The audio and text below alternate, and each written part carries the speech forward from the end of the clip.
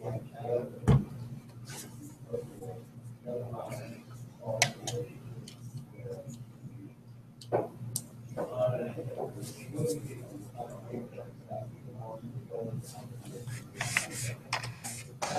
morning, everyone. This is Joseph Trevisani from Worldwide Markets. It's also good evening. It's also possibly good afternoon, depending on where you are.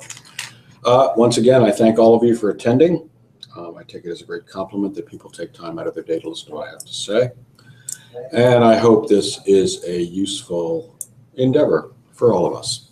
Um, As you know, I prefer, of course, if anyone is interested, to please put your comments, considerations, and always the forlorn plea for jokes into the chat, and I'll be glad to uh, pause and talk about it. I much prefer to have these things conducted as a colloquium rather than as a lecture. We have in front of us um, the, oh, excuse me. Can everyone still see the chart? Something strange just happened to my computer. Um, okay, there we go. It disappeared. I don't know what it was. Anyway, we have a fascinating difference or a fascinating um, occasion to look at the difference between what we know and what we don't know, between how markets deal with speculation and the unknown, and then waiting for facts. We have nothing to go on in this case because an exit of a major industrial power from the European Union has never happened before. So we do not know what the effects will be. It's that simple. Everything that is said in supposed knowledge of what is about to happen is conjecture. Nobody has an idea. And I would even go further. I'd say, by, by and large, nobody has a clue. The only information we have so far is that Britain voted to leave. We don't even know what that means specifically because it's up to the government of Theresa May to decide. And in, of course, negotiation in conjunction with the European governments and the European Union bureaucracy based in Brussels, the European Commission. So we definitely do not know how this will play out. The British electorate has told us that they do not believe the dire warnings of the remainers, or as I call them, the remainders, um, for how this for, for how this will affect the British economy. Um, I'll, I'll let you know up front, since this is part of the discussion, that I thought two things. One, that they should leave. Um, and this, I hope this doesn't color my discussion, but I want you to know where my, where my, where my opinions are. I don't know. I, I prefer coffee myself, but I was staying at a friend's house over the weekend and I was. okay. Has everybody seen that joke? And we owe Pan for that. I thank you. Um, why do the British like tea? Because tea leaves. I love it. I got to get my girls to tell this one. They'll be eight. They'll they'll love it. Um, thank you for thank you for that. it's the first good joke I've seen about uh, Brexit so far. I, I, there must be some sort of joke relating Brexit to some type of cheese. Um, you know, De Gaulle's favorite comment that how can you rule a country that has 700 different kinds of cheese? Um, I haven't heard one yet. We'll see. So my opinion on this was one that they should leave because, to my opinion, uh, to my personal uh, political view, sovereignty is a national sovereignty is the best that can be hoped for when it comes to a democratic policy, democratic polity. And two, I thought that, and still do think, that the effects of the British departure will be minimal. And the reason is very simple. Once the emotions are over it is in both the British and the continental, taking it as a whole, interests to maintain the closest and tightest economic ties. And so I think that will happen. I do not for I do not foresee any great dislocation of economic arrangements between the continent and Europe. Very simply, the, Europe sells a ton of stuff to Britain. Britain sells a ton of stuff to Europe. Why disturb these relationships? I don't think they will. Um, and I think the greatest threat, actually, of the British departure politically um, is to the continent and the EU itself. The EU's um, experiment with united currency, to put it generously, is flawed. It certainly has not benefited every member of the EMU, the European Monetary Union. And those countries that have not benefited, that have been damaged by it, all retain political sovereignty. And if there's a greater cause, a greater reason for retaining, continuing to retain political sovereignty than what they have seen transpire over the past uh, almost 10 years since the financial crisis, we're looking at it. And in addition, you have the Brits now making it clear that sovereign nations can leave. Now, Britain is a special case within the European community.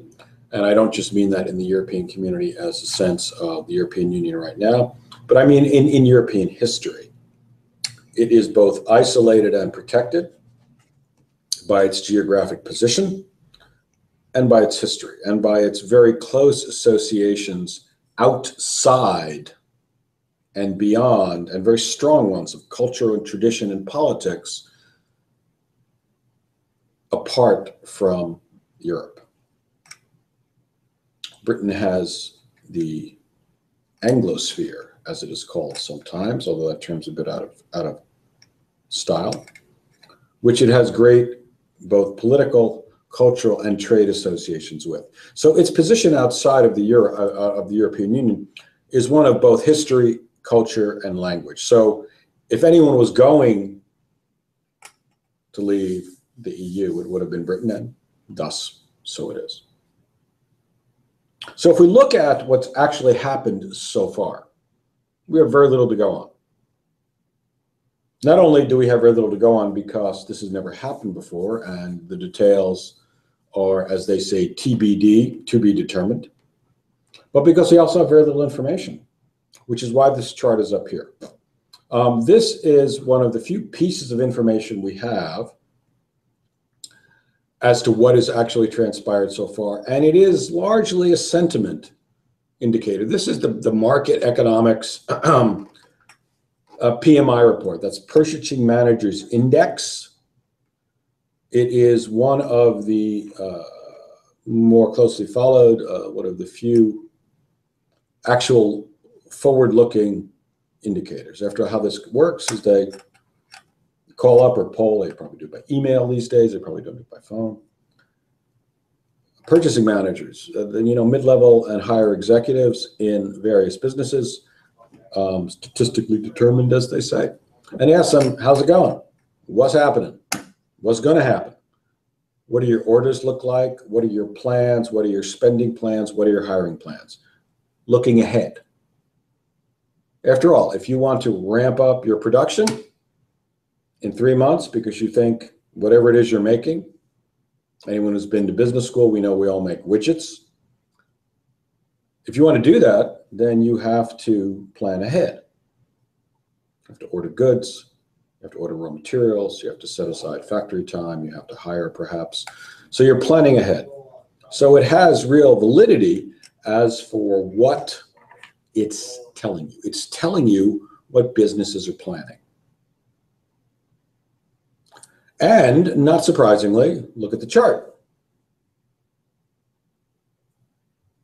Very substantial drop off. Now, two things are involved here. One, the trend, and all of these are the same, are down, has been down since basically 2014.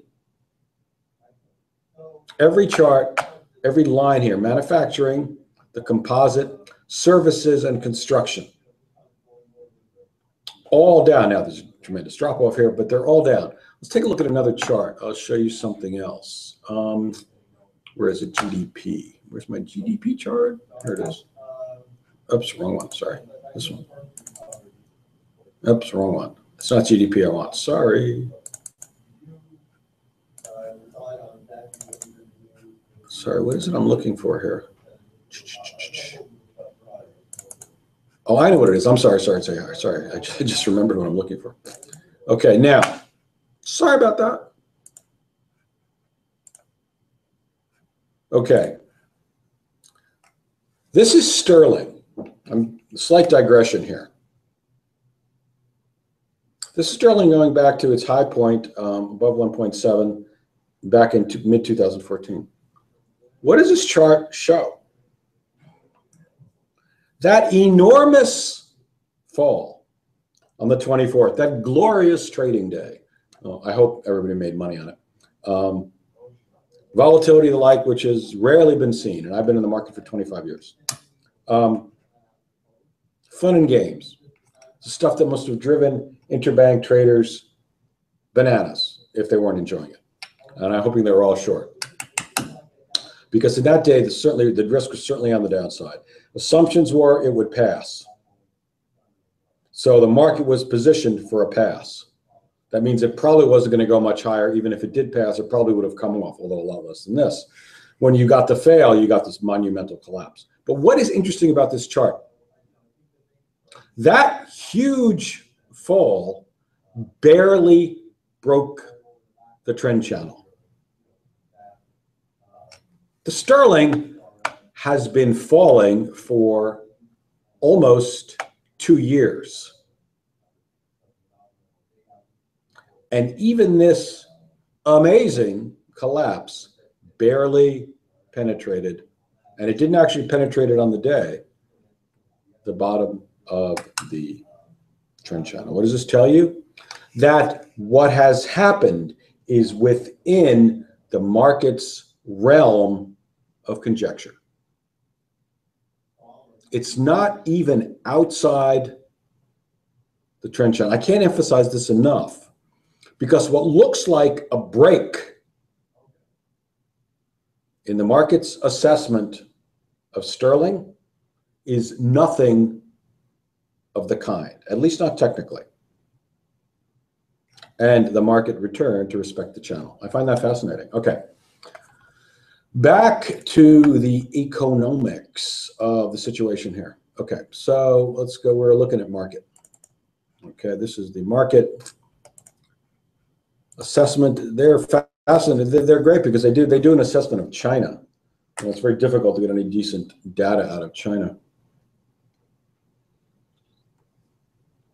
Okay, excuse me. I have my my iced coffee here. It's quite hot here in New York. We're having a bit of a heat wave. We may actually get to 100 today. That's, uh, I guess, about 34 for you people who use uh, the rest of the world centigrade. I needed. I forgot to check. My girls asked me this. Do uh, does Britain use Fahrenheit or centigrade? I actually don't know. I think they use Fahrenheit. Um, anyway, uh, if anyone knows, type it into the chat. I'd be interested in knowing whether they do or they don't. I can, of course, look it up, but I don't want to do the middle it. Okay, so what do we have here? Absent actual information. We have, of course, a sentiment chart. And what is likely to happen, matter of fact, you could guarantee this, um, from the passage of an, of an event or the happening of a, an event like uh, the British uh, referendum on European Union membership? Well, obviously, it is the de definition of uncertainty. All we have is the vote. We don't know when, we don't know how, we don't know who's in charge, and we don't know what the result will be. So we know basically nada, nothing. So for all of those reasons, of course, businesses are going to pull back. I don't know what's going to happen. This is not the time to hire new people. Oh, they do use centigrade. As an American, I say that's disappointing, but I leave it alone. I leave it alone. anyway, there was a movement when I was a kid, um, you know, the middle of the last century, uh, to switch the United States over to the uh, metric system. And um, we never really went anywhere. And at this point, I would say it's certainly not going to happen. Anyway, okay. So what we have here is, is really a sentiment chart, and, and it's a perfectly logical explanation and pretty logical ex expectation. Businesses have no clue clues what's going to happen here. Neither does anybody else. But businesses have to plan ahead. So when they are anticipating what they're going to do, they naturally enough pull back. Are we going to plan uh, to hire new people? Oh, not right now. We uh, got to see what's going to happen first. Uh, what are your new orders looking like? Well, you know, they're okay. So there isn't a lot of knowledge, there isn't a lot of information coming into businesses right now about what to do. Their expectation has to be caution. And so that's really all we're seeing in this chart. This change in the uh, Markit indexes, mark, Markit as in the economics company, doesn't really tell us a great deal except that we are looking at a period of uncertainty. So when you hear from, if you do, from various commentators that this is the beginning of the Brexit collapse, do not believe it.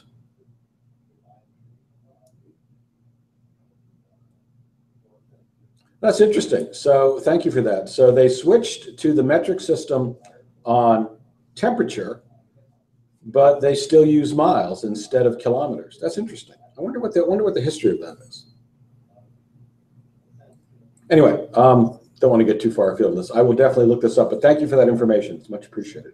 Um, so if you hear people, if, if, people start quoting, if you hear commentators quoting this, um, these sentiment numbers, as uh, the forerunners of proof that the British economy is going to take a, a big hit from Brexit. Don't believe it. It may be true,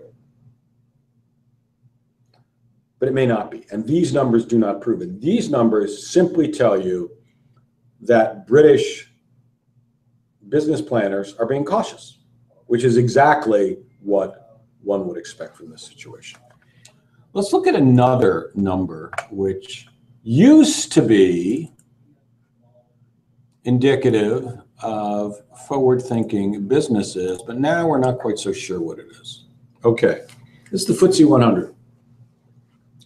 Now, there was a time in the dim, distant past, before the financial crash, before quantitative easing, before Ben Bernanke enacted his fear of the, and I'm being unfair to Ben Bernanke, his fear of the depression in economic into American economic and thereby world economic policy, that the purpose of the stock market was to discount future economic growth, future uh, earnings by corporates, and factor them in to the price of the equity. That is no longer quite the case, as we know. They are now doing something else. In addition, supposedly, to their time-honored role of discounting the future into stock prices, and that is they're discounting the likelihood of further economic stimulus, i.e. asset price support from the world central banks. They may not call it that, but that is its largest result. So when you, again, you look at this chart, it looks like the equity traders in the city of London and elsewhere around the world love Brexit. The logical disconnect there is so wide that you cannot take that as the only answer here. Now, it could be that the equity traders are very different in their analysis than the business purchasing managers because we have two different outlooks here. The purchasing managers are being, I think, understandably cautious. They don't actually know what's going to happen. That seems the most, in fact, that of course seems the most logical and sensible approach to the, this event. I don't know exactly what's going to happen. If you know what's going to happen, let us all know. But I don't think they do. But here it looks as if the equity traders either think this is going to be a great benefit for the British economy, and you can make that argument, although I would not expect it to be made with such immediacy. I think it will end up benefiting the British economy, and I think in a very in a very pronounced manner. But I think it's going to play out easily over a number of years, if not half decades and decades. It will simply give the British economy and British businesses much more flexibility, which they will use to generate products and profits. That's my that's my opinion on it. I don't have proof of that, of course. It's the future.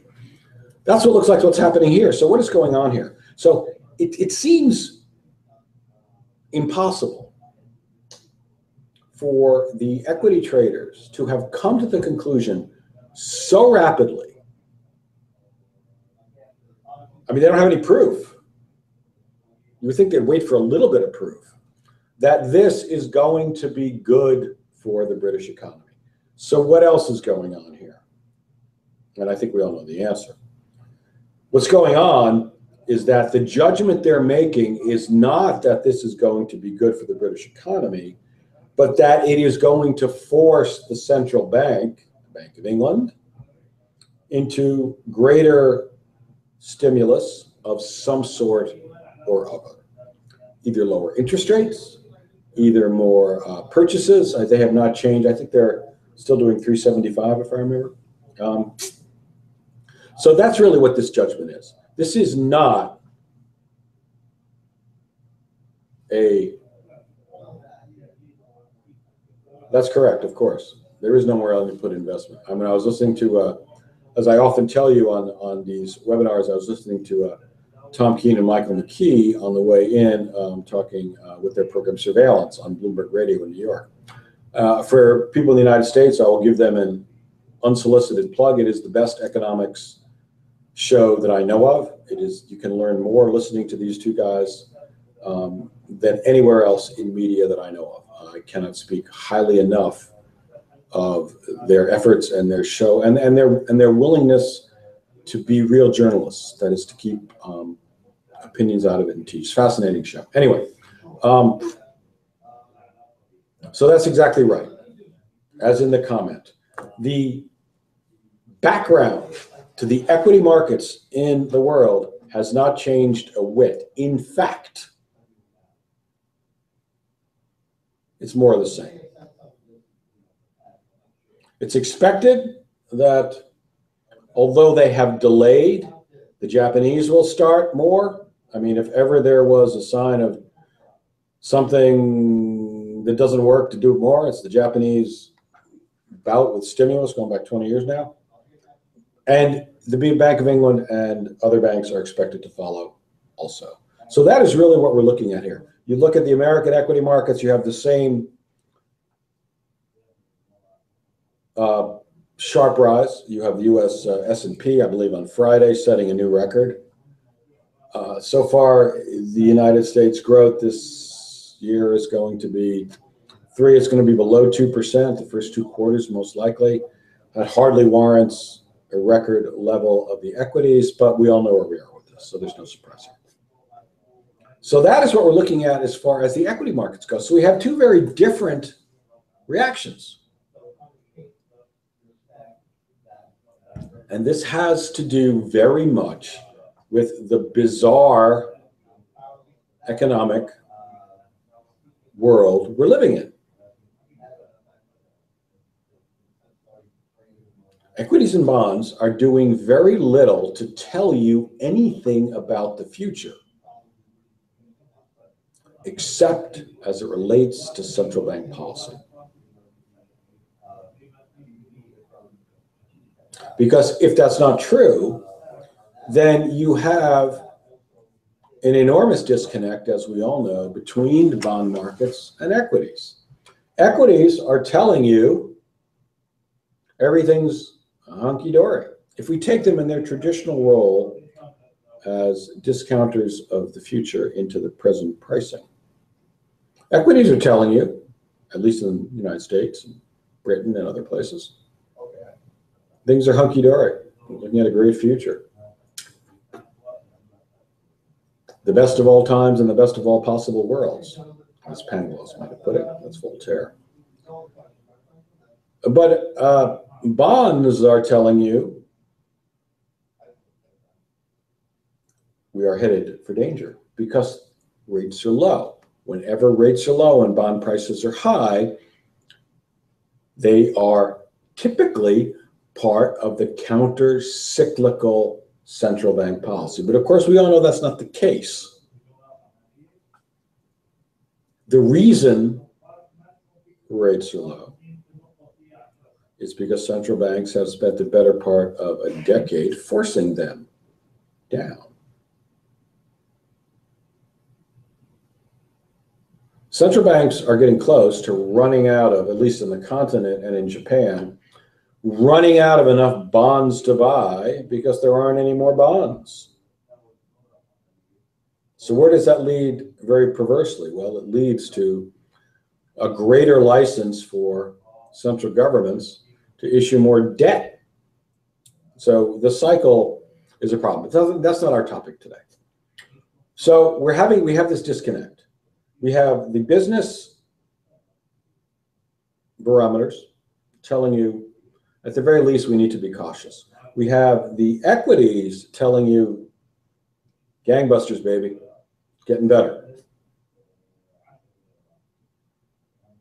So you have to somewhere come to the conclusion that the equities are no longer useful in telling us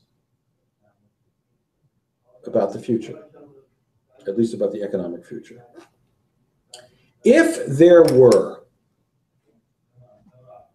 some indicator that we could look at, just take a you know take a thought experiment here that would tell us that British Britain, the British economy, is going to hit a recession, guaranteed because of Brexit. Looking at this chart, what would that, where, where, where would, look at what this chart is telling us from what we already know, which is not that, of course. What would be the likely reaction of equities? it's probably similar to what we're looking at already because the assumption would be that more price support is coming out of the world central banks. So we know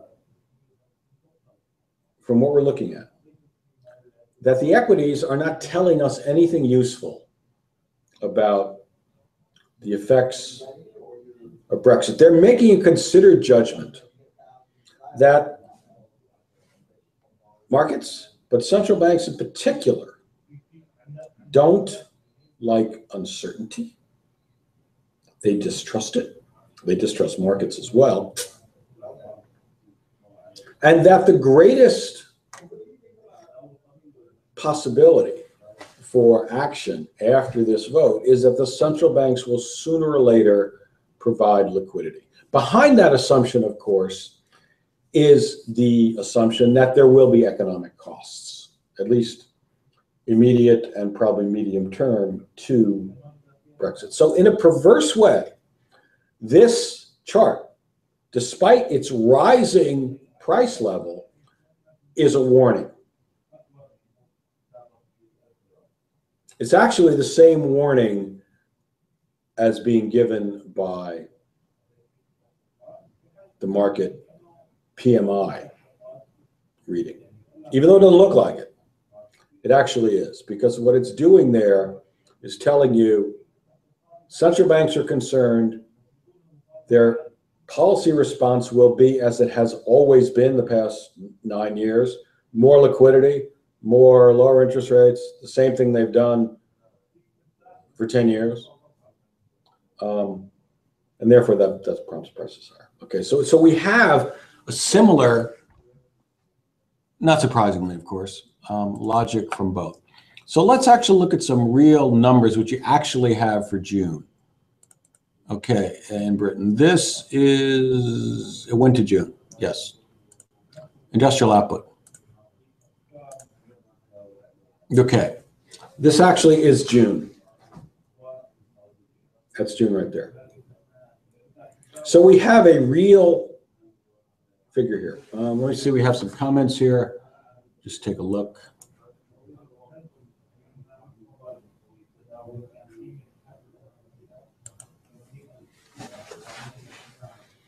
Um, I think you're right. I think Mark, I think they probably will cut rates again. Um,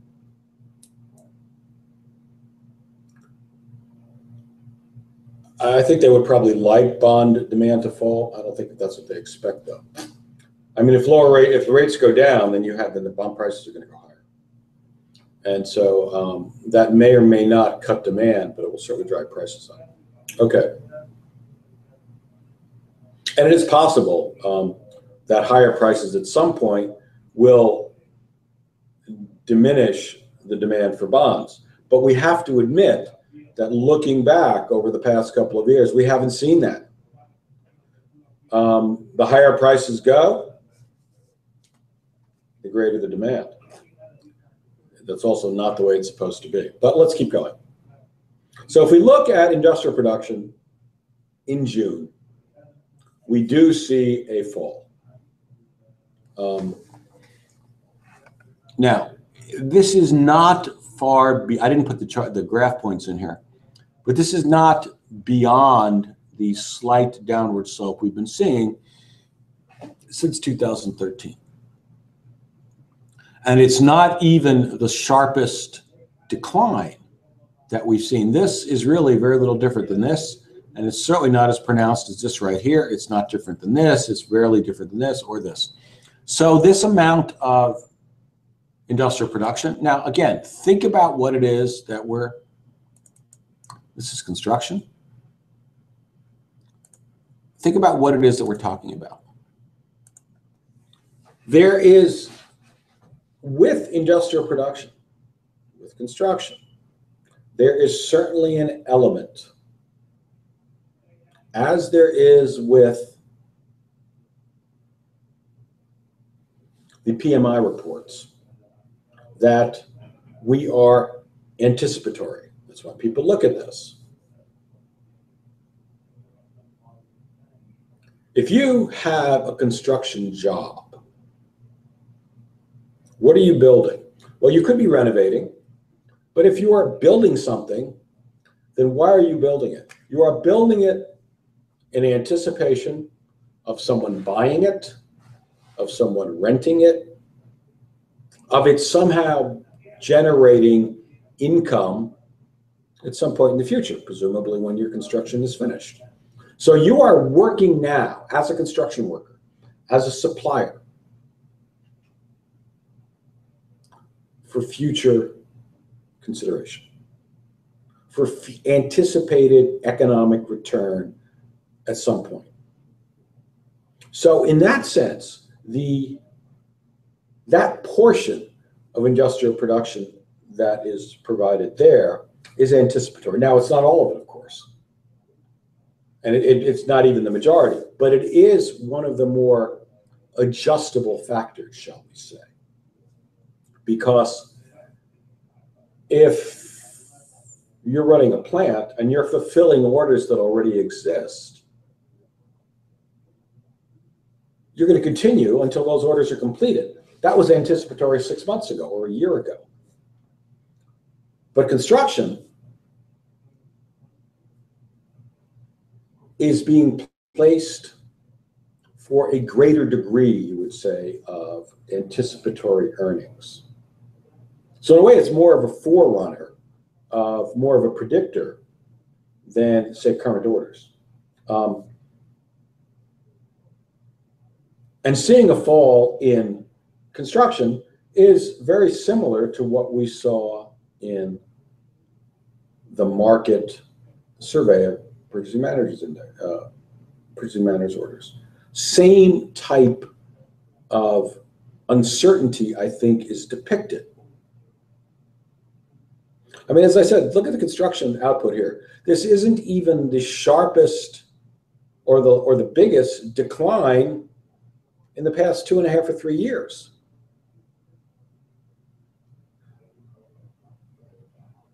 Caveat to all of these items is that these numbers, the Markit numbers as well, are for June. The great majority of June, everyone was sitting in anticipation of a failure of this referendum. So there may have been a good portion of delay, meaning people are saying, you know, I'm just not going to place my orders this month. I'm not going to place do some forward planning. Um, I'm just going to be very, very cautious until I have some concrete idea, what, until I know what's going to happen with this vote. So there's going to be a certain degree of inhibitory. Um, my guess is that's relatively minor, simply because everybody in creation thought that this would fail, including myself. I did not think this referendum would pass. I thought that when people came down to vote, they would choose the unsatisfactory present as opposed to the uncertain future. That's what I expected. I was wrong um, as far as the outcome of the vote goes. So I think the anticipatory uh, or the hesitation for business planners going into the vote was probably a, sm- a smaller factor in this than was figured. Now, I don't know when the uh, Markit polls were conducted. My guess is they were largely conducted before the vote, the Markit, the Markit uh, statistics for PMI that we looked at earlier. Um, this is an actual output number. So, you know, we're in July, it's the third week of July already. Um, by the way, um, let everyone know, I'll be going on vacation probably for most of August. So we will be have these uh, webinars will pause uh, until I come back in September. Uh, our Labor Day holiday here in the United States is late. It's September 5th, and I will not be back before that. But we'll we'll put the schedule up there. Um, so this number is actually a an economic statistic out of the British economy. And so this incorporates real effect, not simply anticipatory. I thought we'd take a look at the inflation number, not that it's particularly attached to the Brexit vote. So here I have the inflation number. We've had a slight tick up. This is um, this is the harmonized, you know, one that the, uh, the EU uses. And so you've had a slight uptick in inflation. That doesn't mean very much. I just thought I'd put it up there. Okay, and let's look at uh, industrial production. Okay.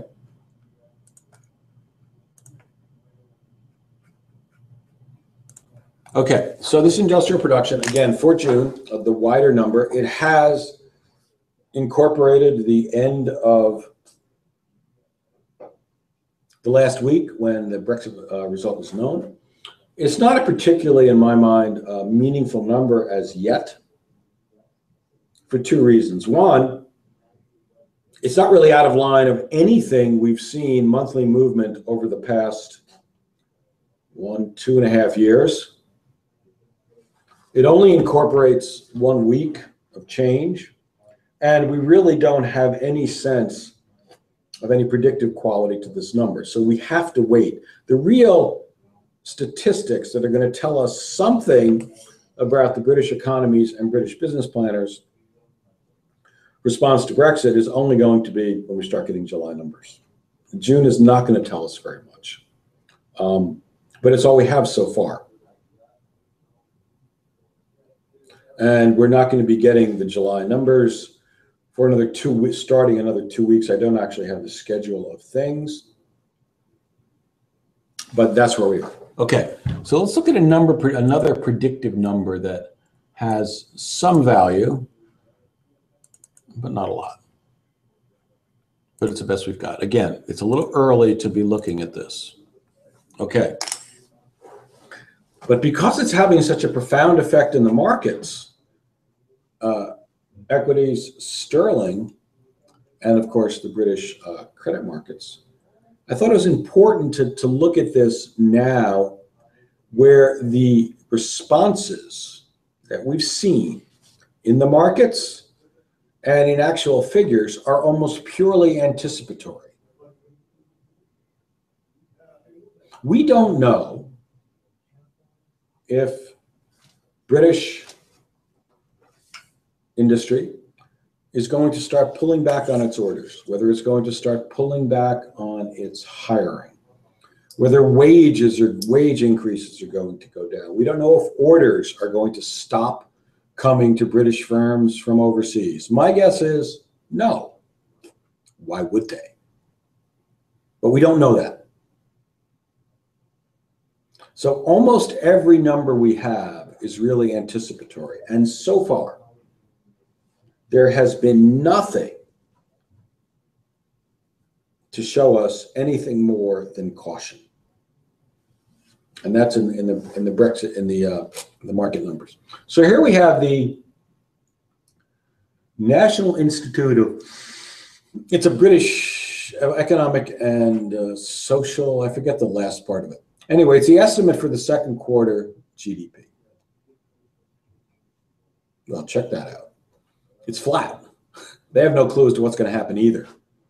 So even when you look at the numbers out of professional prognosticators,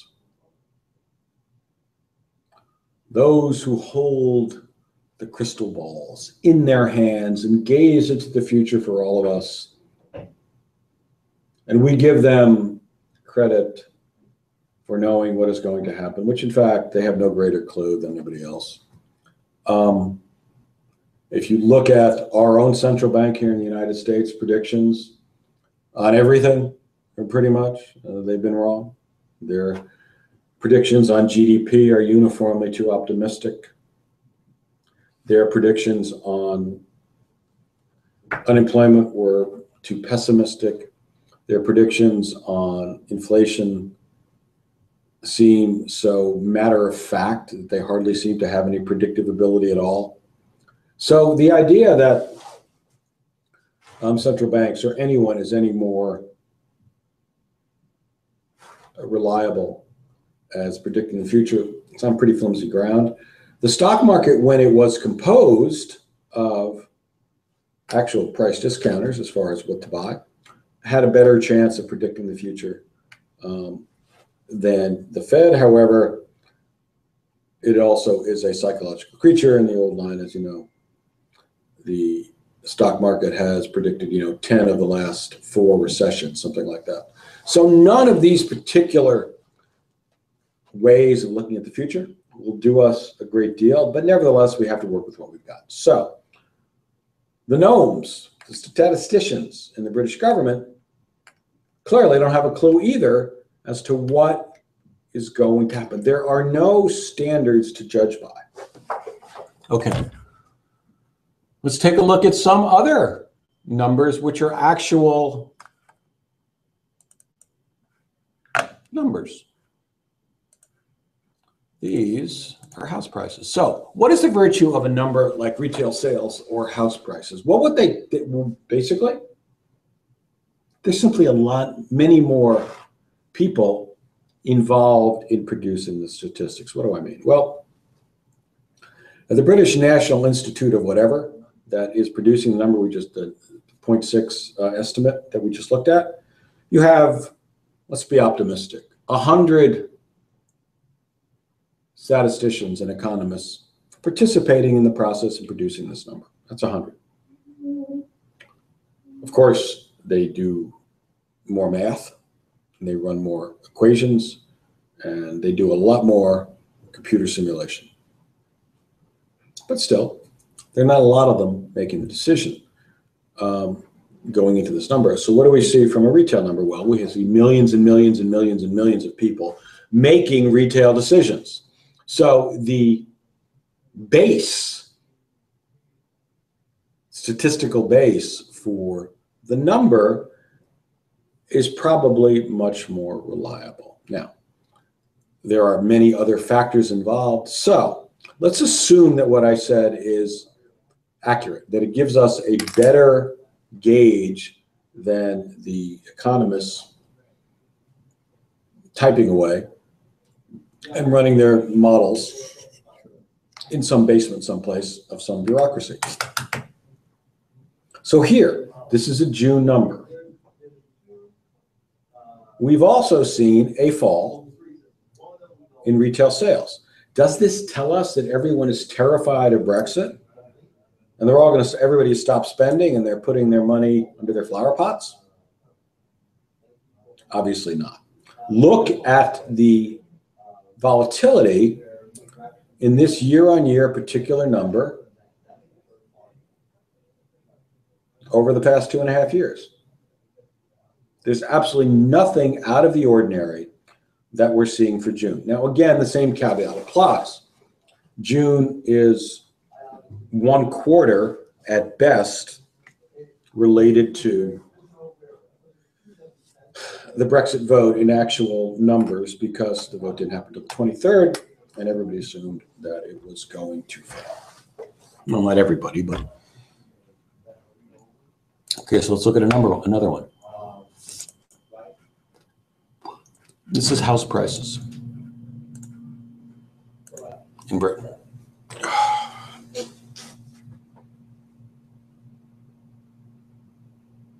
The decline, this is also for June. The decline in housing prices predates any event in June. So again, we are looking at continuation of pre-existing trends, perhaps exacerbated. It's certainly possible logically that anyone who was deciding to buy a house decided to pause in the last week of June based on the result of the Brexit vote. That's certainly true. But as with all of the other numbers we looked at, and particularly the sterling chart, there isn't any indication that we have a new trend here. Okay, let's, let's take a look at one or two other statistics and then we'll wrap up here. This is a similar, this is a, uh, what is this, CBI, Council of British Industry, I believe, a consortium of British, I think Council of British Industry. It's quarterly optimism. This is basically the PMI statistics writ large. Now that's a substantial drop. That's a drop akin to the collapse during the financial crisis. So if anything is looking to create worry, I think this probably has more validity than any of the other numbers out there. Because this is, I mean, the, you know, the, the, the Markit numbers, um, the PMI numbers, they take a, a, it's a pretty wide range of statistics. I mean, uh, of inputs. They'll look at new orders, they'll look at hiring plans, things like that. Things relatively close to decision making. This is a broader view. And British industry, excuse me, from, you know, the proverbial 30,000 foot view, has been considering potential effects of the British exit. if you were, you know, a purchasing manager, you may not have been worried about it until the day of the election, the day of the referendum. But if you're a company executive and you're thinking about what may happen, then you have to start long before the actual vote and take into consideration what could possibly happen. Run the scenario. Although I think we have the same result, meaning that the only thing you can actually predict is that you need to be cautious. Is that you need to postpone, perhaps, your spending plans, your hiring plans, your ordering plans for raw materials and stuff like that, until you have a better sense of what this will actually mean. It certainly looked a bit chaotic the day or two after the vote. Does everybody remember the uh, that petition? And friends of mine wanted me to sign this. I thought it was preposterous. Um, the petition that went around demanding demanding a new vote, a new referendum, one that would require what was it, sixty percent was it a 60% pass rate and a 70 cent participation rate or 70% pass rate and a 60% participation rate? I, I forget. If there ever was a, I mean, the childishness of that is beyond belief. I didn't get what I wanted. I'm taking my ball and going home. It was silly. Of course, it never went anywhere. Um, but it was a sentiment relatively widely felt at the time. So the only possible really judgment to be made is one that we're seeing, is that the amount of caution has risen dramatically. We're short of statistics, and my guess is that the, the actual statistics are not going to show very much of a change because after all, Nothing has happened. Yes, of course, the vote was had, but nothing else has changed. If you are ordering Land Rovers from Munich, my guess is you're still ordering Land Rovers, meaning from Munich to Britain. If you are ordering stout from someplace, you're still going to. So the actual results, I think, of changes in industry, industry orders and industry production, are going to be far less until we have some sense, and this is not going to happen for many months, of how this is going to take place and the actual changes. There may be that the Continentals get angry and put huge barriers up as far as tariffs go, and the British retaliate by doing the same thing. I do not expect that at all, but it does remain a possibility. So I think we'll see again that as the numbers start to come in from July, we're going to see very little change except in the anticipatory component of these numbers. In other words, orders from the continent are not going to fall off. They're not going to drop off a cliff. Because there's no reason to whatsoever. But you will see in the planning section of things more hesitation. So I expect that a lot of the actual numbers as they come out will show relatively small declines, but declines nonetheless in a lot of the optimism. Okay, so I want to talk a little bit more about sterling, since after all, we're all currency traders here, among other things. And what this actually means, and then we'll wrap up because we're, we're close to the end here.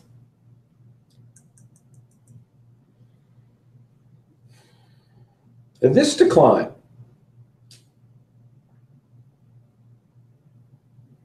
uh, over two and a half years, 14, 15, and we're halfway through nine. Is certainly not a comment on the British Brexit vote. It's not a comment on the British election. Cameron's last election.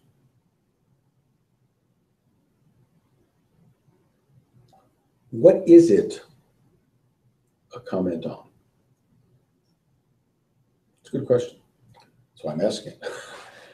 Um, I think its greatest import, greatest meaning, has to do with the realization around the world.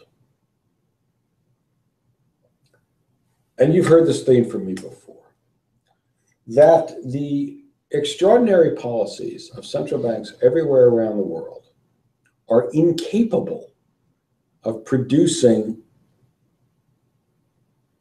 of succeeding at their goal to produce a sustaining, self supporting economic recovery. Yes, we have growth. How could you not have growth? I would, I would say with interest rates at these levels. But the ability of the central banks to manage, frankly, I've always thought that that's a bit of a, more than a bit of hubris, to manage the global economy, whose purpose, after all, is to coordinate the economic activities of a few billion people. That's the purpose of the economy. That's what it does. Um, has been vastly overstated. And, and one of the things that happens, and has happened uniformly throughout this, not just since the financial crisis, but also since, since the Second World War, but certainly in the era of free currency trading,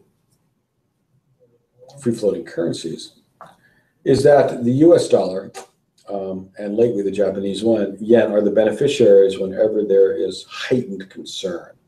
And I think that is the primary import of this particular chart. Because this long predates the British vote, but the pound has fallen substantially and over time which is the type of trend that is most fundamental, most fundamentally based. Um, certainly far more than equity trends right now, because as we know, equity trends are both fostered and indeed demanded by central bank policy. Okay, folks, um, I thank you all for attending. That's really it. Um, I hope this has been useful. Um, I thank you all for attending. I will type in my email and Adinda will put it up. If anyone has any questions, I will be happy to uh, address them. I also sent, uh, asked last, uh, at the last session, um, I asked for some comments and uh, some suggestions for future webinars. I did get a few. I thank you for them and I will be responding to them and we will put one up. Okay, thank you all very much. Uh, everyone have a good day, good morning, good afternoon, and good evening. Take care.